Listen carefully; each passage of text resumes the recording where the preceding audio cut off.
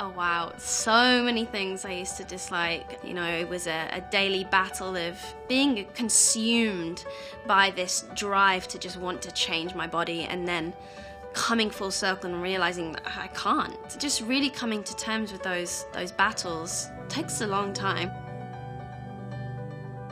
I had issues with my ankles growing up because someone once said they were like cankles members of my family were like, you can't wear boots that cut you off there. So I had this issue thinking that they were something terrible and they had tree trunks for legs, and actually they're just really strong.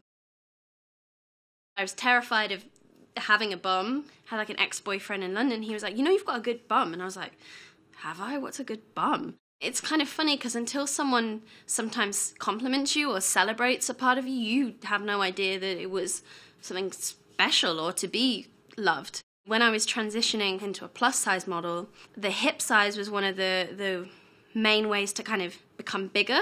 I actually invested time into eating a little bit more and working out to build up. And now I, I don't even think about that at all. I'm not trying to fit a shape or a size.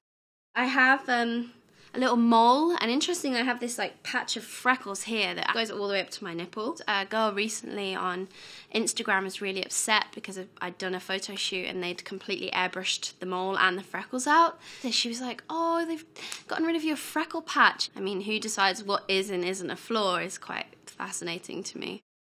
I love that my body is all mine. I love that I've had to come on a journey with it. It takes time to know what your body wants and needs and responds to, and really connecting my mind to my body. I remember kind of being confused about my body and its curves and having them at such a young age. I remember getting to a point where I was so much more womanly than all the other girls in my class. They used to do this thing at school where if you put a pencil between your breasts and did that, then they would laugh at you because you had boobs. So I think I kind of misused them and I thought I had to be sexy and I had to wear push up bras and they were, you know, I was confident and, you know, womanly and sexy and all those things and it, I wasn't doing anything wrong. I was just kind of trying to be confident because actually inside I was not confident at all.